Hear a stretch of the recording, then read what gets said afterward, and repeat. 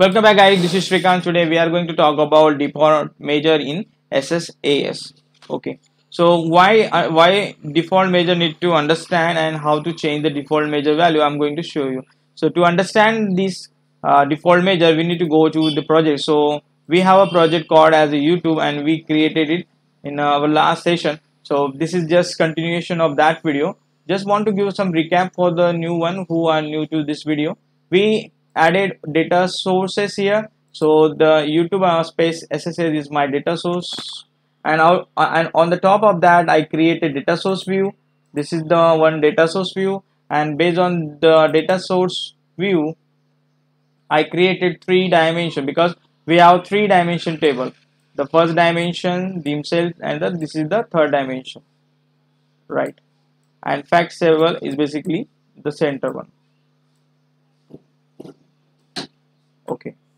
So these are the three, three dimension and we added that one. Let's see how many column right? We added two column from this dimension to two column from this to we call it as attribute. Okay. So we have this many attribute with this. Now now we are going to the browser and what i'm going to show you here just simply click double click on the cube then go to the browser and just see the value so basically I have two measures I'm just dragging and dropping here. The, this is the sales amount. The second one is the sales discount. Okay so I can see sales discount is 320 and the sales amount is 1110 11000 okay so I can see here sales amount is my first measure sales discount is my second and these three are the dimension. Okay. Now I am going to SSMS and there I am going to connect the S uh, through the SS uh, through the analysis services engine. So this is analysis services engine. Then this is my server. Clicking on OK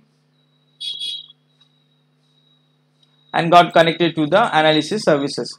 Now here what I'm going to do, I am going to write one small MDX query here.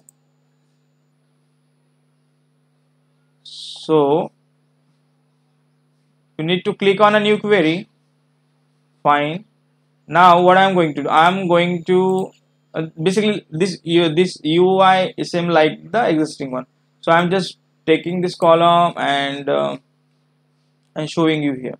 So but here instead of doing that let's say i want to i want to get the data from the major. So i want to write some kind of select query let's try to write that there so you need to take a cube actually here and let's execute it. See the moment we'll execute this query we'll get the error. The error is something like the error the you do not have permission or something like that right? But this is but remember this is not the tsql this is mdx now let's try to convert this query into mdx so it will run. Now this is my simple query. I don't need to use the star actually here. I simply need to use from clause and in the from I need to pass the cube and the select.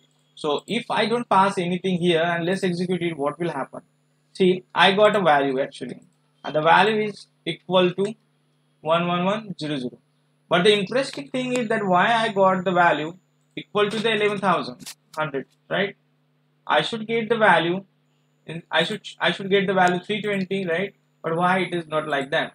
So this is happen the reason is basically default measure so whenever you don't define any uh, default measure for the SSAS, then MDX will take its first measure, right? Okay. So if I want to change this default measure to the sales discount, how I could I could do that? Can I do that? Yeah, you can.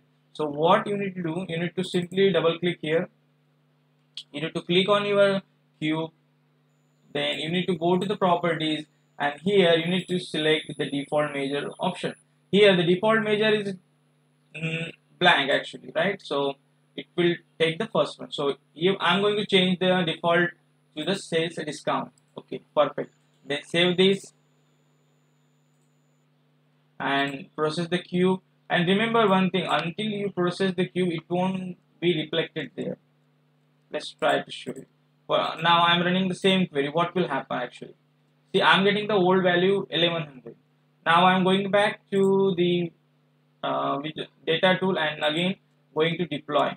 right? This deployment is in uh, progress. So so deployment completed successfully. Okay. Now let's go back here and let's see what will happen. See 320 is there. Correct? Right.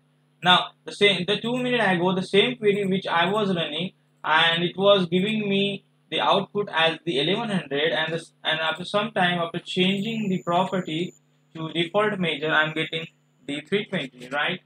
So this is called as a default measure. Again I want to revert back how I can do that. Simply you need to come here.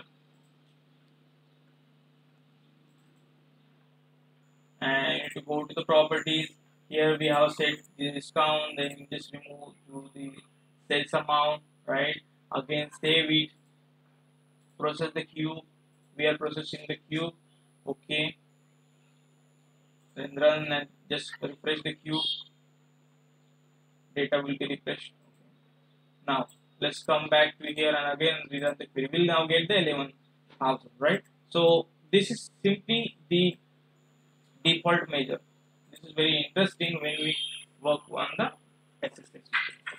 Hope you enjoyed our uh, video related with the uh, default measure and thanks for watching and have a great day ahead. If you really like our video, please for, don't forget to share and subscribe with your friend they, they will also help to understand the SSAS. In coming video, I'm going to talk about the uh, MDX query. That's a multi-dimensional query. How we can write the MDX query.